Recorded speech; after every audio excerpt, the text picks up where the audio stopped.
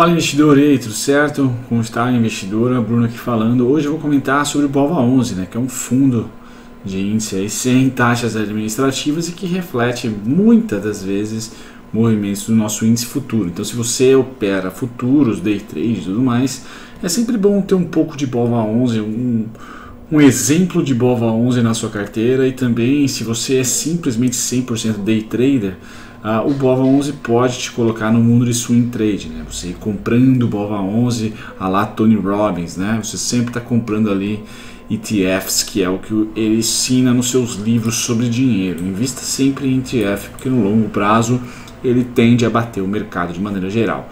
E o BOVA 11 é o mais bacaninha, né? Que representa todo o nosso índice Bovespa. Legal, o que eu tenho para falar aqui rápido, rápido, rápido? Eu quero falar sobre essa LTA uh, de longo prazo, que seria aí um, uma triangulação um pouco mais severa do mercado, certo? Então, supondo que o mercado viesse aqui a testar essa região, quiçá essa região aqui, certo?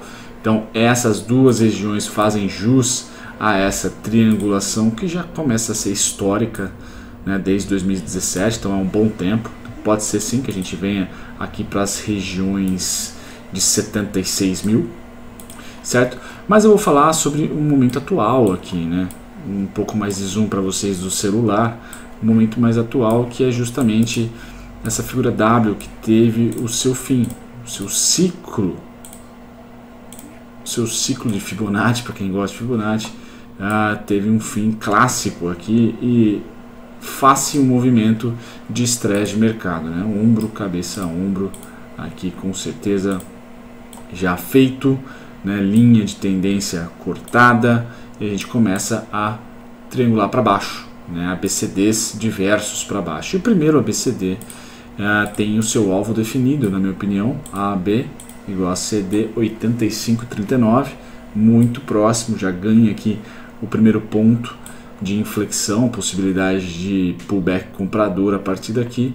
E eu tenho os meus pontos do mestre dividendos 83,50, bem como 83,93, certo? Então essa região aqui para maio e junho é a região que eu vou ficar de olho. Vamos ver o que o mercado vai produzir aqui, quais serão as notícias extra mercado que surgirão nesse ponto, certo? Nós temos aqui um bom fundo, fundos mais altos e aqui o reteste. Então nessa região aqui existe um fundo também, certo?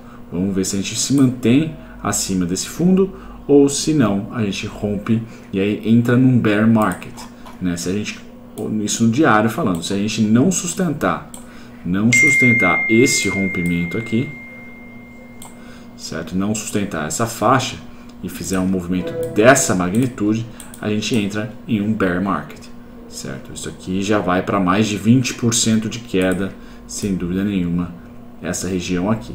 Tá? Aí entra no estresse, que no semanal e no mensal não é bem um estresse, é simplesmente uma triangulação. Aí sim, tratando de semanal e mensal, o bear market está muito longe, porque o fundo que eu considero para mensal é aqui, certo? A gente tem fundos categóricos a partir da LTA traçada, certo? Então teria que perder este cara aqui dos 70 mil pontos, acho difícil pelo menos para esse semestre, a não ser que role um estresse muito grande na presidência. Certo, fico por aqui para falar um pouco aí desse fundo tão famoso, tão popular, Bova 11.